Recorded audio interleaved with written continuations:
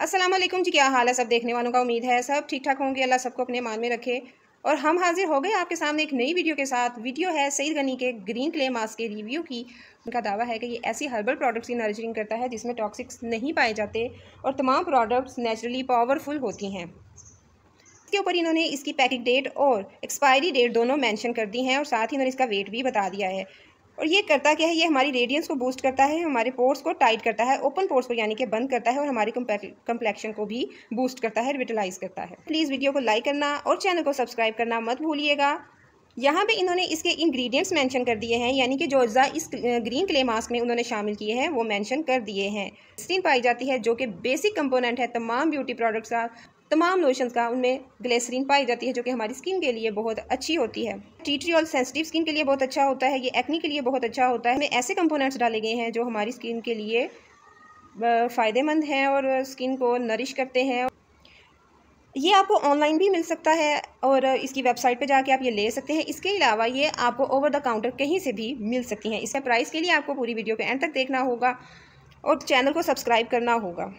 अच्छा जी, अब हम इसकी अनबॉक्सिंग करते हैं। ये मैं मास्क दो दफ़ा यूज़ कर चुकी हूँ। जो मुझे रिज़ल्ट मिला है, वो मैं आपको आगे चल के बताऊँगी। मुझे इसके रिज़ल्ट कैसे मिले हैं।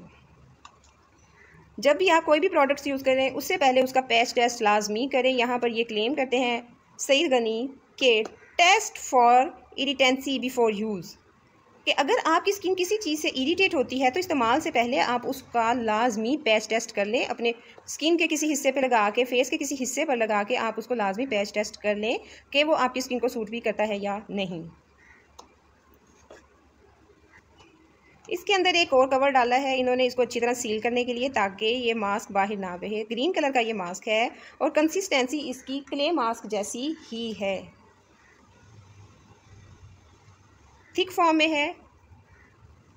और आपने इसको स्किन पे थिन फॉर्म में, हल्का सा थिन करके आपने इसकी लेयर लगानी है। अब हम इसको सबसे पहले अप्लाई करने के लिए क्या करेंगे? सबसे पहले जी हमने अपनी स्किन को करना है क्लीन्स याद रखें रखें, आपने अगर इसको अपने फेस पर भी मास्क को लगाना है तो उससे पहले आपने अपनी स्किन को अच्छी तरह क्लीन्स करना है। कोई भी आप क्लींजर ले लें, डबल एक्शन क्लींजर ले लें, क्लींजिंग मिल्क ले लें उसको आपने हाथों को उससे अच्छी तरह क्लींस करना है।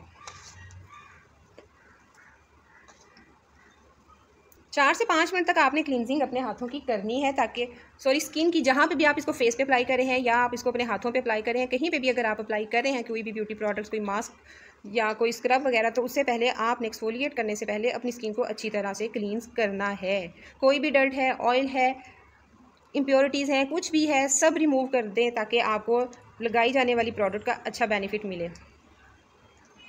क्लिनजिंग हमारी हो गई है, अच्छी तरह हमने हाथों को क्लींस कर लिया है, अब हम इसको पहले वॉश करते हैं।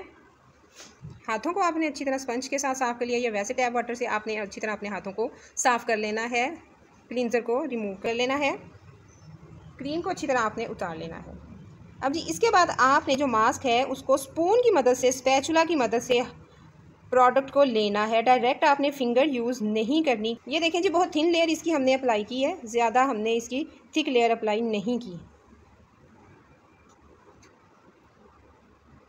ऊपर कहीं से भी स्किन का कोई पार्ट रह नहीं जाएगा। 20 मिनट तक आपने इंतज़ार करना है और 20 मिनट के बाद आपने वॉश कैसे करना है, उसके लिए आपको वीडियो को एंड तक देखना पड़ेगा। और चलें जी, इसकी प्राइस की बात करते हैं तो प्राइस इसकी 500 फिक्स है। कभी भी इसकी प्राइस कम नहीं हुई, इनकी सेल्स भी लगती हैं, इनके बंडल्स भी हैं, लेकिन इसकी प्राइस फाइव हंड्रेड ही जब भी आप कोई मास्क लगाएँ, उसको आपने डायरेक्ट कभी भी रगड़ कर साफ़ नहीं करना, क्योंकि उसकी वजह से आपकी स्किन एक रिलैक्सेशन मोड में आई होती है।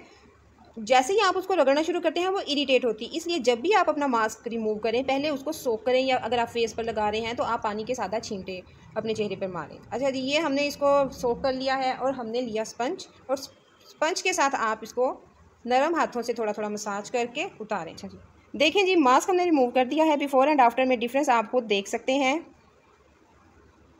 उसके बाद जो अहम काम आपने करना है स्किन को मॉइस्चराइज़ करना है। किसी भी लोशन के साथ आपने लाजमी स्किन को मॉइस्चराइज़ करना है और फेस को फेस वाले लोशन के साथ मॉइस्चराइज़ करना है। प्रोडक्ट को इस हिस्से पे लेना है। जहाँ तक रिव्यू की बात है, मुझे ये मास्क बिल्कुल सूट नहीं किया। के बाद ही मेरी स्किन बहुत ज़्यादा रेड हो गई थी और स्किन बर्न होने लगी थी, इसलिए मैंने इसको छोड़ दिया। अगर आपकी स्किन भी सेंसिटिव है तो पैच टेस्ट लाजमी करें। वीडियो पसंद आई तो चैनल को सब्सक्राइब करना।